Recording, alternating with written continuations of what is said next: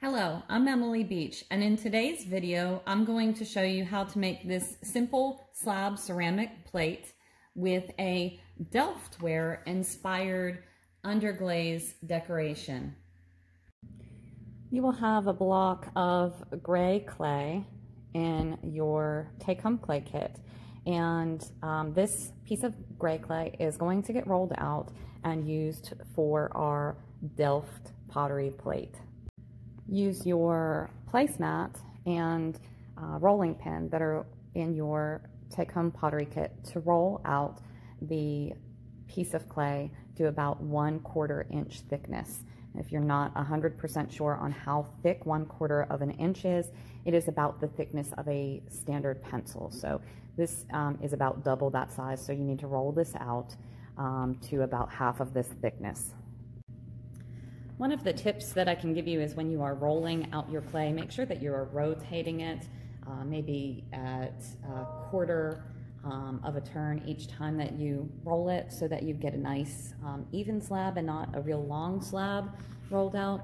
So we're going to cut this into the size of the larger plate. You should have a large styrofoam plate um, in your clay kit and um, you're just going to set that on top of the clay, make sure that um, all of the edges fit, and you're going to use your bamboo skewer um, to press in to the clay and trace around that plate. So that's gonna cut out your slab.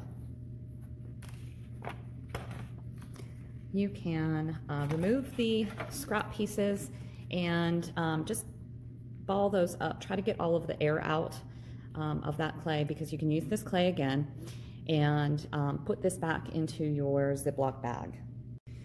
I'm now going to move my clay slab, uh, flip my styrofoam plate over, and I'm going to use this uh, uh, plate as a mold.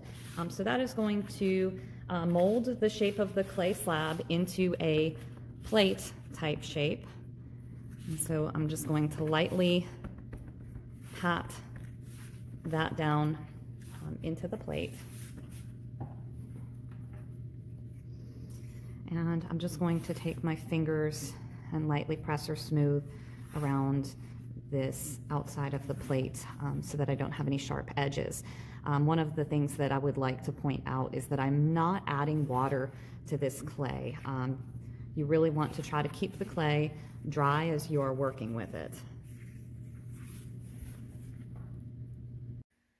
Before you start to work with the underglaze, do some sketches in your sketchbook after exploring some different design options and themes in Delftware over history.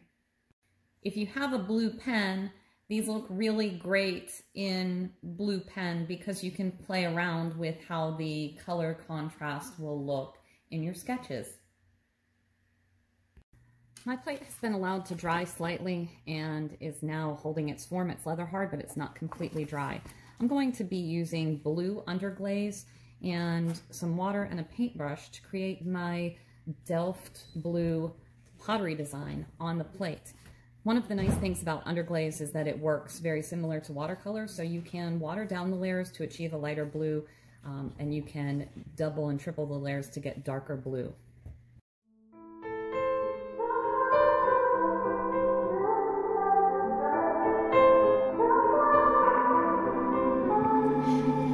Standing still as I let go of your cold hand. Eyes are wet, but lips are dry, and all the things we'd planned were never what you wanted. We've been lying from the start. Guess I knew it, just ignored it. I let go of your cold hand. I guess I saw it coming, yet it took me by surprise.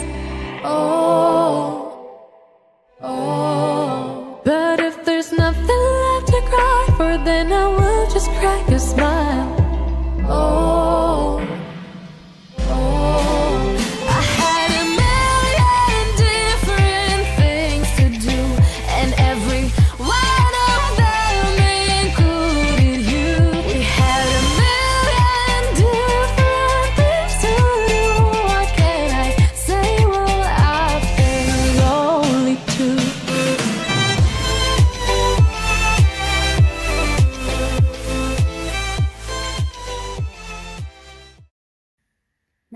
Plate has dried, I'm going to fire it and give it a coat of clear glaze.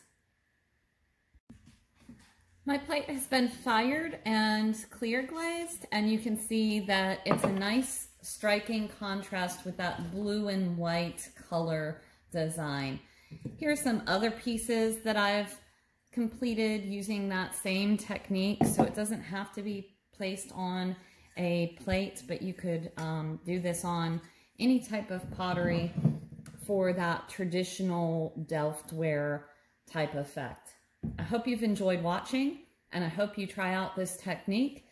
Please don't forget to like and subscribe. Thank you.